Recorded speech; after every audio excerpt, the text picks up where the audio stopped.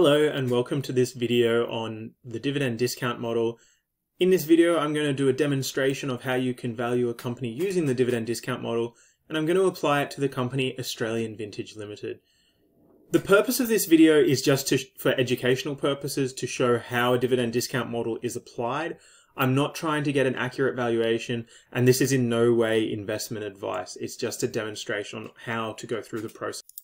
So here I've set up a spreadsheet ready to value Australian Vintage Limited using the dividend discount model. And I'm going to step you through the process of how to do this valuation. What we'll be doing in this valuation essentially is applying the discounted dividend model, which has this formula, and I'll be following through these seven steps.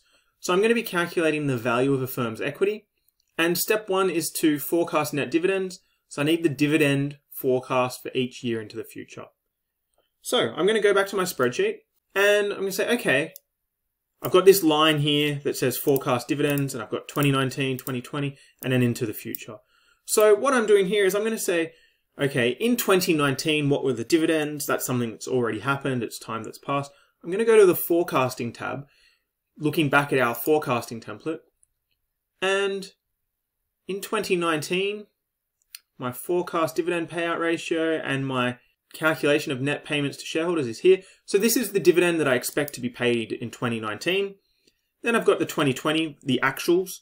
Then I've got my forecast dividends for future years. So this first step of the dividend discount model is to get the forecast dividends for future years. And I've done that in my forecast template already. And I've got it for 2021, 2, 3, 4, and 5. So I've got five years of forecast dividend payments here. In this spreadsheet, I've got it going out to six years. So here it's blank. I haven't calculated that one. I haven't forecast that yet. So I'll come back to that, but that's going to be a terminal value year for me. So step two is to estimate the cost of capital for equity. So step one, I've got the dividends forecast for each year into the future. Now I need to know this RE term, estimate the cost of capital for equity. So in my spreadsheet here, I've got estimated cost of capital here, and I've put 7.59%, and I've put a little note to the side. We're going to learn how to estimate the cost of capital after we've done the valuation models. So if you're trying to apply these models at this point in time, just put a number like 7%, 8% just to build the model. Then later on, when we learn how to actually calculate or estimate the cost of equity capital, you can change that number here and it will flow through into your formulas. So I need to put in my discount factor, which essentially is this part of the formula, the denominator each line, 1 plus the cost of equity capital to the power of T, year one, year two, year three, etc. So in 2021, I'm going to say equals 1 plus my cost of capital, which is 7.59%, to the power of, it's in year one, so I'm going to the power of year one. And then I'm going to make sure this 7.59%, I want to keep referencing that cell. So I'm going to put the dollar signs in to absolute reference it. I'm going to drag that across each year. This is my discount factor. All I've done here, for example, in year 5, I've got 1 plus 7.59% to the power of 5. In Excel here, I'm applying this part of the formula. 1 plus 7.59% is the cost of equity capital to the power of 5 in year 5. Step 3 is then to discount future dividends to the present value. I've got the dividend, I've calculated the discount factor, so I just divide the dividend by the discount factor, and that's step 3. My dividend divided by my discount factor is my present value of dividends. So I can drag that along as well. Step four, I need to forecast dividend growth patterns beyond the forecast horizon T. So in my forecast template, I have forecast five years of dividends. Okay, so I've got my dividends for five years into the future. Now I need to forecast what's likely to happen in the future after that. And in this example, I'm going to be using a terminal value assumption and I've put, I'm going to assume my dividends are growing by 2% every year. So in year six, what is my dividend payment going to be in year six? I'm going to say equals last year's times 1 plus 2%. I think the dividends are going to grow by 2% every year into the future. So my year six dividend I have just calculated as being 2% higher than the previous year. Now this 2% number here, this is the terminal value growth assumption you will have to come up with that assumption yourself when you're valuing a company. Here I've just used 2% as a simple sort of growth example here. We're now up to step five, which is to calculate the terminal value at the forecast horizon. So here I want to calculate my terminal value. So I'm going to say equals my year six dividend, and I'm going to divide through by the cost of equity capital minus the growth rate.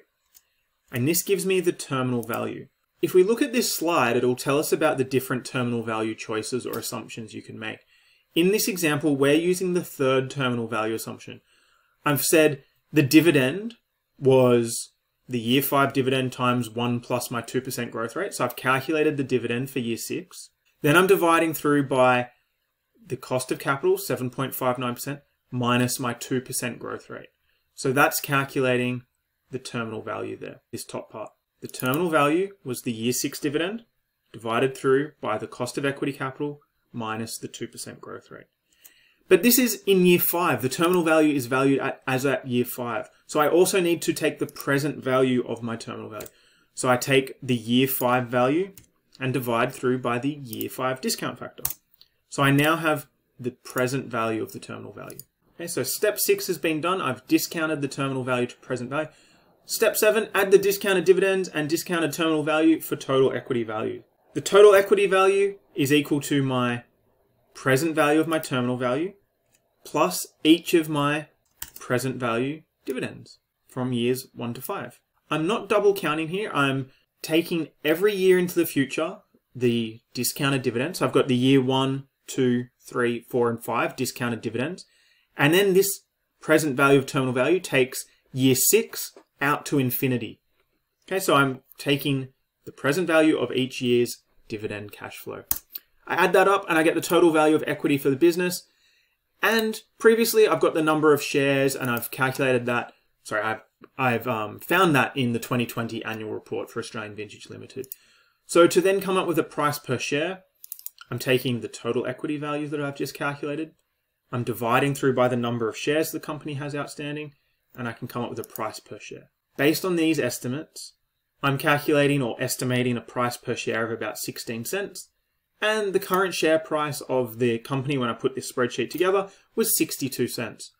So based on the dividend discount model estimation I've put forward here, I'm estimating the company is currently overvalued and I would recommend a sell. Now again, not investment advice, this is educational only. I'm not trying to create an accurate valuation here, I'm just trying to show you how the spreadsheet gets built.